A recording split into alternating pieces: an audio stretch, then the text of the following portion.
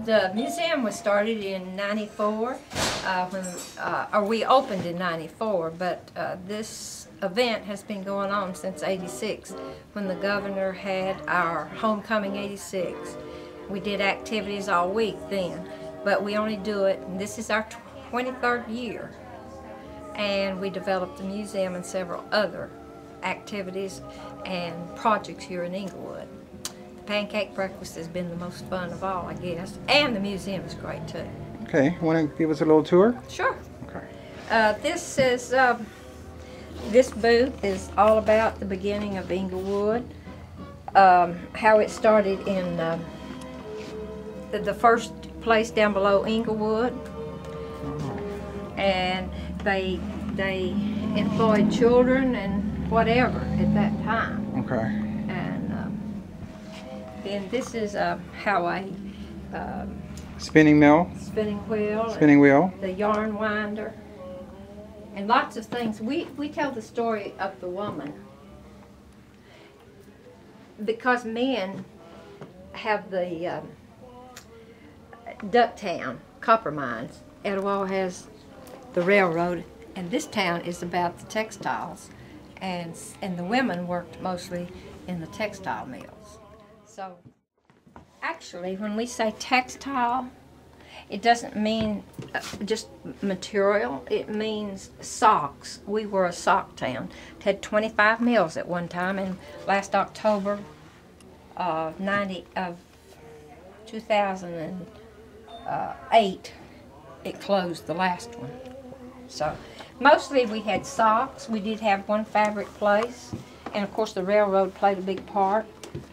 And each booth represents some time period. This was the Depression uh, time period when they made chenille uh, bedspreads I see.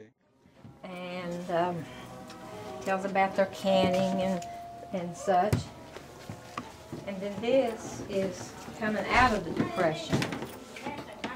And that, that belongs, that sewing machine belonged to a mill owner's wife.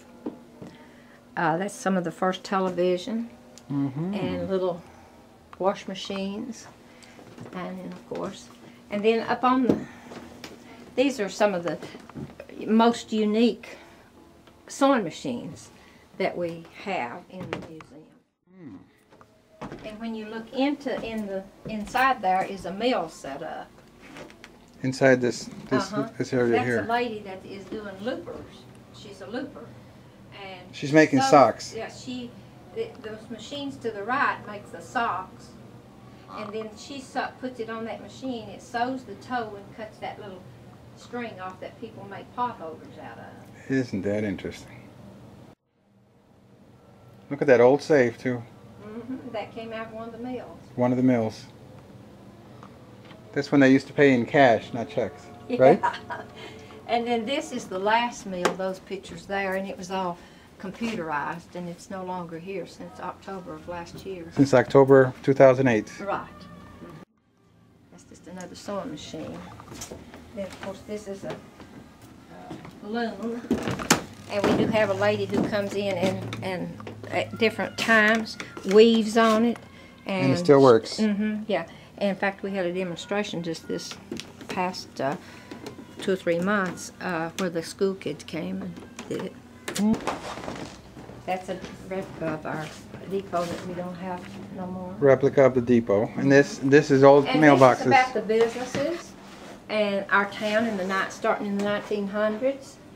And then that's some of the homes and the churches, activities, and then that's uh, an aerial view of the, maybe in the 70s, 60s. Look at all these hats, ladies' hats. Don't forget, we're promoting women. Who's this lovely lady? She's the one who thought of all this. You thought of all Helen this? Brown. Helen Brown? She's the one who said we needed to tell the story of our town.